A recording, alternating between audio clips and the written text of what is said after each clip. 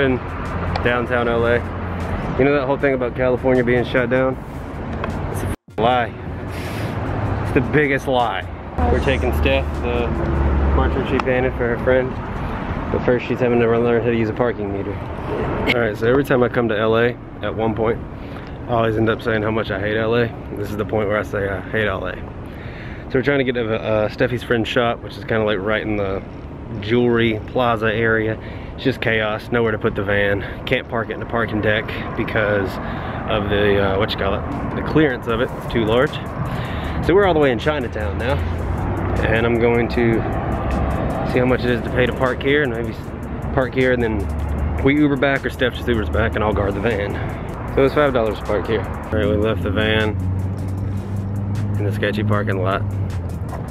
And now we're taking a lift over to where we need to go. I'm stressed. I really do feel like the paparazzi now in LA. It feels like in those movies where like the monsters are going to the jewelry guy with like, stacks of cocaine. I promise there's just a laptop back here. It's not drugs. I mean, maybe a little drugs, but not the bad kind.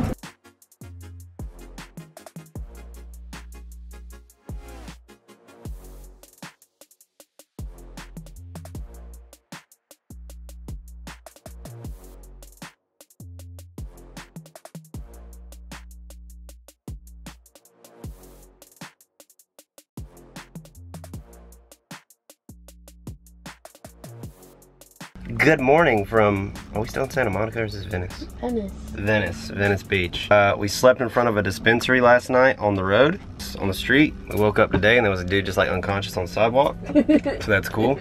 Now we're just sitting here waiting to go hang out with somebody.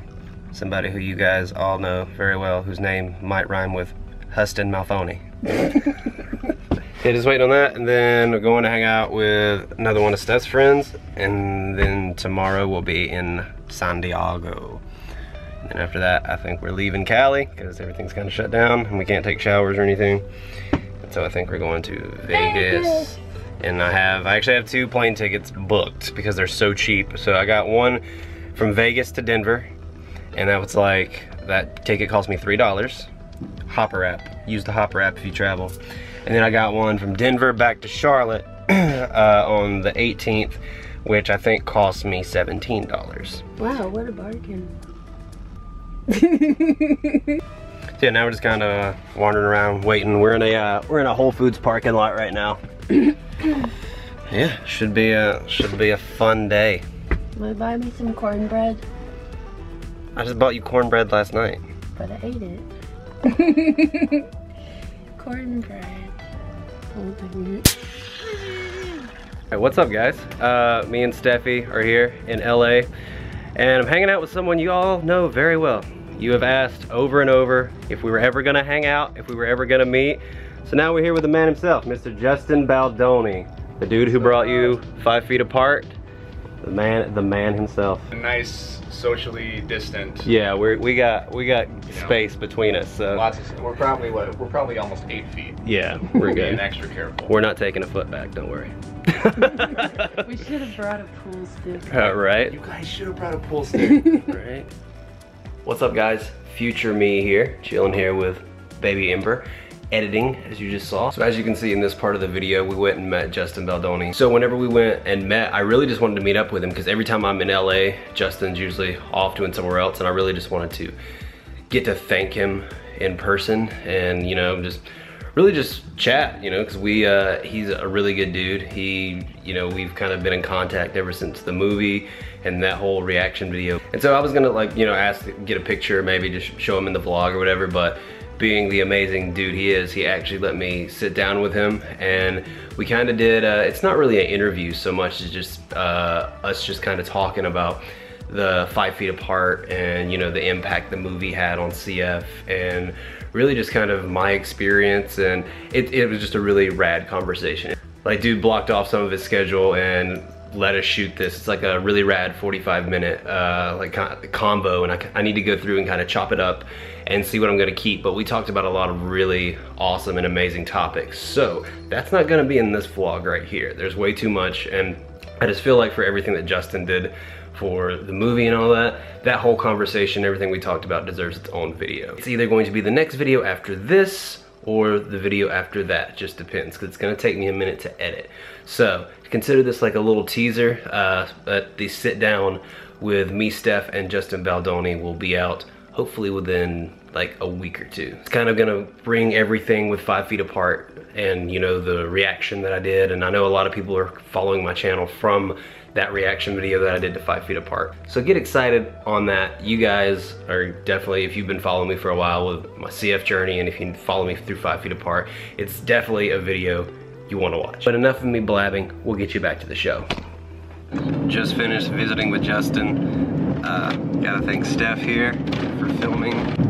Literally the nicest human on the planet. Now we're apparently we're pulling into rich people houses. We're not supposed to be here. So it turns out the same super ultra crazy rich neighborhood that we just had to turn around in. So where we turned around at, oh that's where Stephi's friend lives. So we get to go in there. Yay. My my poor blood is itching right now.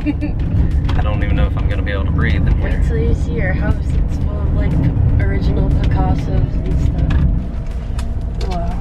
What the, gates. f- what the fuck, bro? Slow down, don't hit the gates in Calabasas, god damn. This neighborhood is too rich for me. I can't breathe in here. It's like I'm so poor, it's, the richness is depriving me of oxygen. This is the neighborhood, I think Kim Kardashian or one of the Kardashians lives here.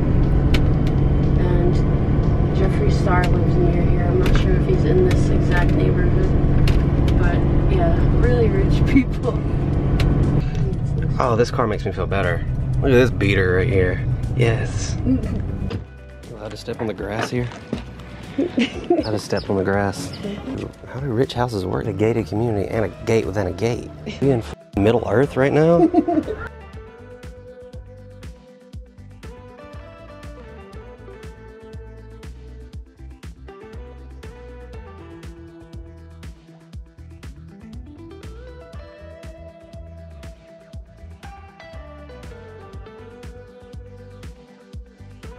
Hello. Welcome to Calabasas. So apparently Nikki Sixx lives here? Nah. well, I don't know, maybe. I think, I can't remember which way we came. Don't kill someone's yard. These yards cost, look, those hedges right there that are all trimmed out, those cost more than our lives are worth. so apparently from what Stephi's friend was saying, this is one of the most exclusive and hard to get into um, celebrity home areas. Here. and we're here, baby. I mean, I don't know, Steph, you kind of, you look like you could fit in here. Look at me, like, I just look like some poor dirt bag that you picked up on the side of the road. Well, that's kind of what I did.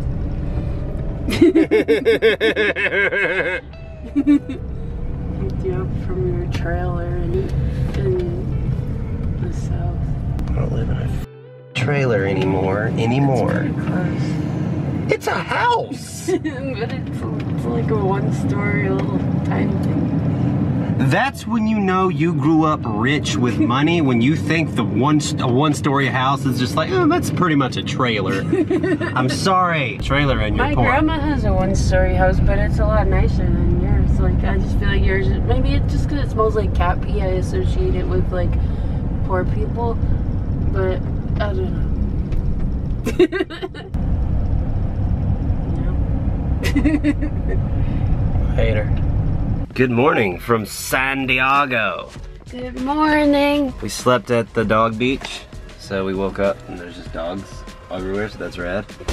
and there's a bathroom right there, so that doesn't hurt matters at all. A bunch of the surfer bros are getting ready to ride the six swell, bro. I do not know how to surf. I tried it one time, and it was the biggest fail of my life. I watched Point Break like 87 times growing up, so I thought it'd be easy. It's not. And once it gets a little warmer, there's showers, like sh beach showers right over there.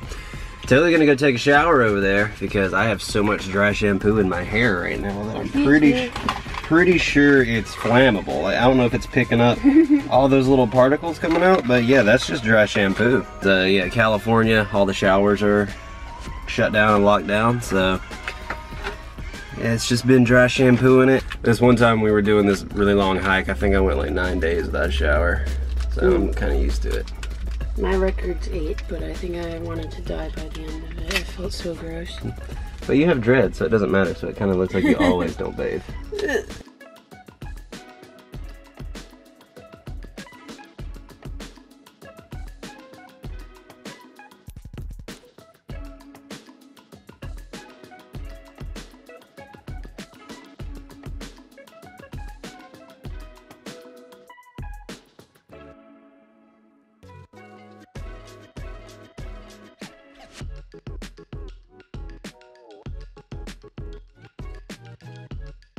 Apparently, Stephi signed us up to uh, do a podcast or something, and I'm currently higher than a giraffe on bath salts right now. So I'm just gonna throw these babies on, and we're just gonna wing it, man. That's the best way to go. We just we just did podcast and we dog napped. podcast guy's dog. This is Zelda. Zelda! She's the sweetest. Oh, she's the sweetest puppy. Yes, she is. Hello. Good morning from Oceanside, California. Currently about to go in, use the bathroom at this grocery store, whatever grocery store this is. I couldn't find any underwear, so I just threw my shorts on and I'm just free balling this bitch, cause why not?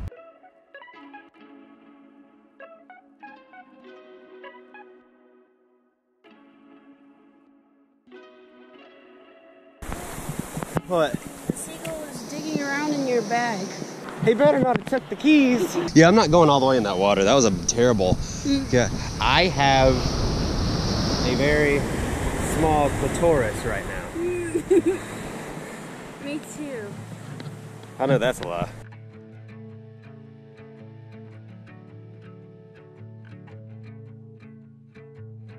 I bet this dude is whacking it so hard in this car right behind me that it sounds like white people running in flip flops. to give you guys reference, there's like families eating at this restaurant behind us. There's a dude totally jacking off in the car right there. If you look to my your left, right, something.